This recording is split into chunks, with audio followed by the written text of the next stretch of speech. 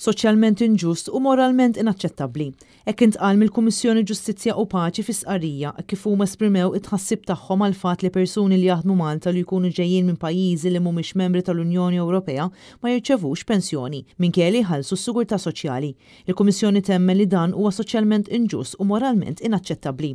Ladarba dawn il-persuni jmorru lura pajjiżhom ma jkunux jistgħu jibbenefikaw mill-pensjoni. Apparti dan, minkejja li jikkontribwixxu l-isforz tagħhom għall-komunità Maltija kif ukoll lejn l-iżvilupp soċjali u ekonomiku tal-pajjiż, huma xorta jkunu trattati bħala klassi baxxa li ma jappartjenux. Minkejja li l-Ministru tal-Finanzi Clyde Caruana qal li l-kontribuzzjonijiet tas-sigurtà soċjali minn ħaddiema barranin bejn l-2012 u l-2021 laħqet madwar biljun ewro, ma semmiex illi ħallsu iżjed minn 1.3 biljun ewro f'taxxi matul l-istess żmien. Il-Kummissjoni saħqet li dawn il-ħaddiema ħaqqhom jiġu trattati b'rispett u dinjità u mhux jiġu sfruttati. Il-Kummissjoni kkonkludiet l-istqarrija tagħha b'appell f'Jum il-Ħaddiem li għandu jkun hemm kuntratt soċjali ġdid li fih id-drittijiet u d-dinjità ta' kull ħaddiem għandhom jiġu promossi u rispettati u li ma jistax ikun hemm ġustizzja soċjali mingħajr ġustizzja fiskali.